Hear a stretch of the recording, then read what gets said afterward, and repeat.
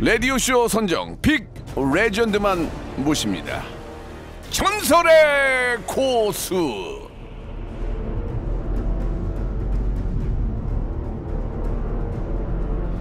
자 오늘 모신 이분은요 지난 2019년 라디오쇼에 출연 당시 월 수입을 묻는 질문에 이런 대답을 했습니다. 어저 프로그램 세 개예요. 아, 이런저런 행사 많이 하고 있어요. 괜찮아요. 아 됐어요. 막 그런 거 물어봐요 진짜. 그로부터 3년 후 2022년 right now. 예능, 교양, 유튜브, 광고 죄다 싹쓸이 해버린 레전드의 예능돌. 예 만능 엔터테인돌. 제가 정말 좋아하는 후배입니다. 황광희 씨 나오셨습니다. 안녕하세요. 안녕하세요. 반갑습니다, 여러분. 예. 제가 아. 인사를 너무 크게 해가지고 당황하시죠? 아니 아니 아니에요. 예? 예. 아, 신인 때나 지금이나 네. 인사는 항상 크게 해야 되거든요. 예, 오늘도 저 라디오인데도 예. 아주 힙하게 예? MZ 세대답게 멋있게 입고 오셨네요. 그쵸. 멋있쥬? 킹받쥬? 약올르쥬? 나보다 못 입쥬? 좀 요, 요즘 유행하는 멘트예요. 예, 좀 많이 좀 쫓기는 것 같아요 지금 아, 보니까. 그런가요? 예, 예, 예. 아, 요즘 이런 멘트 많이 쓰길래. 예, 예. 무튼 먼저 인사부터 할까요? 어쩔 TV.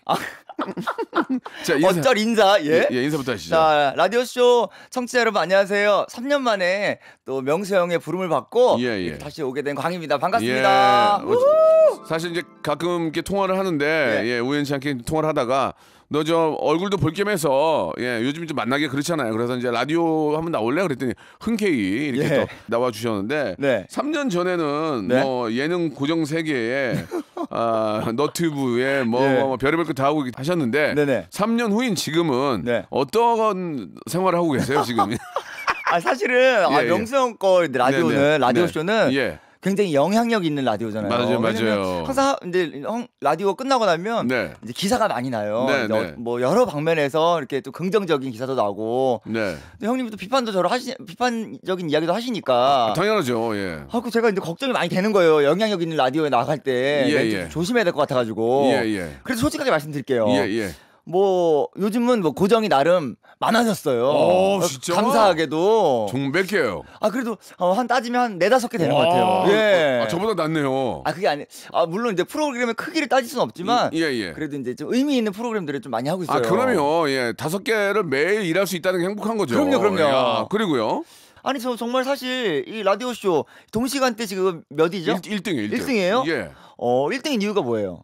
그건 뭐 제작진과 저의 호흡도 잘 맞고 예. 제 캐릭터를 좋아하시는 분이 많이 계시니까 예. 예, 마, 어, 많이들 좋아해 주시죠. 아마 한 시간 하기 때문에 그런 게 아닌가 싶어요. 아마 두 시간 했으면 그런 재미가 잘 안 나왔을 수도 있어요. 아니 말씀을 기분 나쁘게 하세요. 아니 근데 이렇게 이런 식으로 솔직하게 말을 해야 돼요. 아니, 저, 저, 저, 저, 예? 저, 저 출연 안 해요. 아 그게 아니라 아, 나, 나가. 아, 그게 아니라 나가. 아형 선생님 선생님 내가 뭘 선생님? 또 선생님 멘트를 해드려야 아, 갑자기 또. 예, 예. 어, 예, 어, 그래. 뭐, 뭐, 왜? 이- 이런 식으로 한다 네, 이거요? 이런 식으로 어. 솔직하게 어, 잘하는 것 같지는 않은데. 편, 그래요? 편집이 맞구나. 편집이 왕이죠. 예. 예, 예, 예. 활명수도 마찬가지죠. 뭐 그러면 촬영해봤는데 아. 뭐 몇 시간 촬영하는데 한, 한 6시간 촬영하는데 5시간은 그냥 우리 허튼 소리 하고 1시간 편집 제대로 해서 곡에 나가더라고요. 뭐, 뭐 틀린 얘기는 아니니까. 예, 그러니까 최고의 제작진과 일해야 돼요. 그렇습니다. 예. 예. 그거 진짜 좋은 얘기예요.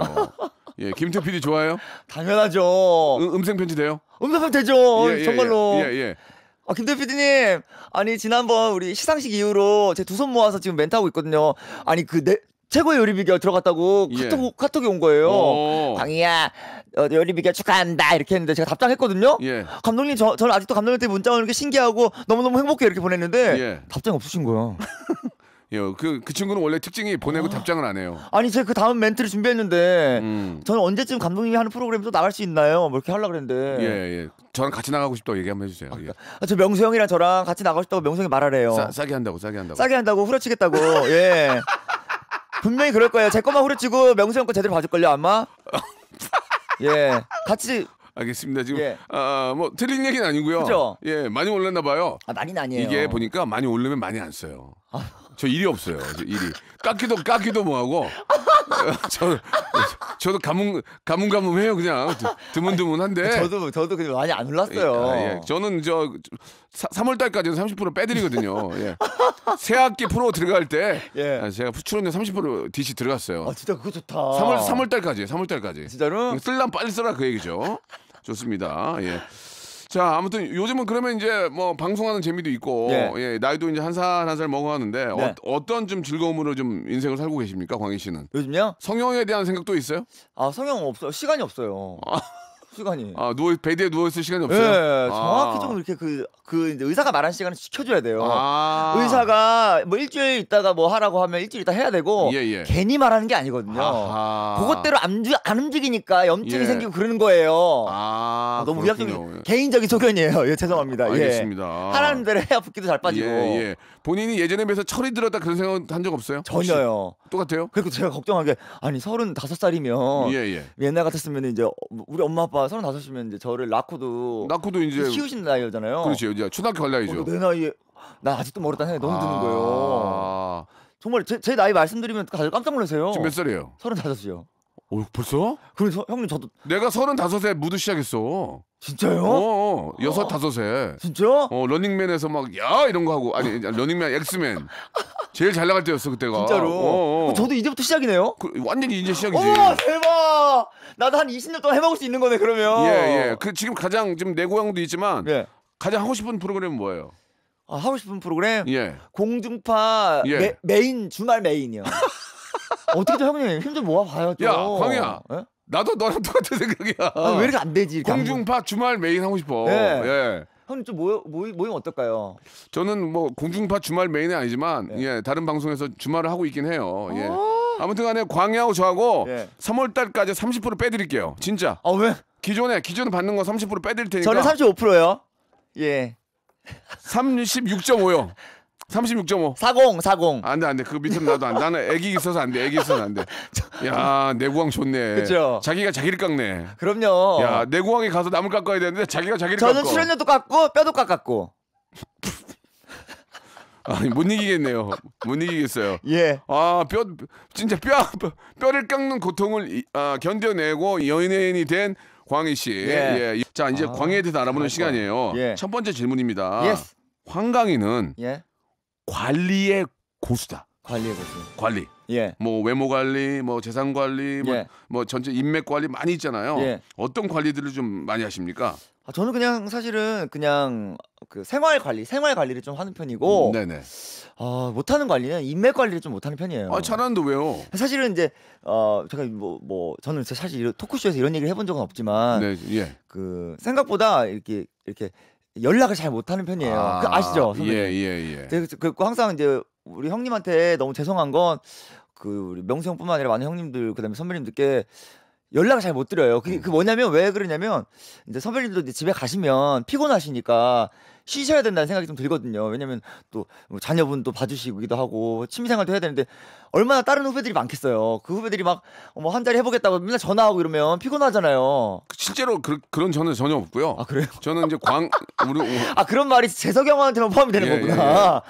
저는 이제 형님한테 한 자리 하겠다고 전화해달라는 사람 아, 없어요? 없어요, 없어요, 없고요. 저는 그 다 차단 시켜놨어요. 예, 뭐든 차단 시켜놨고 아 차단했어요. 정말 우리 가족들만 예. 이렇게 또 전화 통화하고 예. 어, 그리고 시간 날 때 이제 그냥 집에 있지 말고 예. 놀러 와서 음악 얘기도 하고 최신 노래도 좀 들어보고 그런 걸로 한번 부르고 싶은 거예요. 아 진짜로 근데 그, 예, 예. 그, 그 마음은 형님 네, 진짜 네. 맞는 것 같아요. 저는 저는. 그런 마음이고 나는 파주의 실리콘밸리다 이게 무슨 말입니까?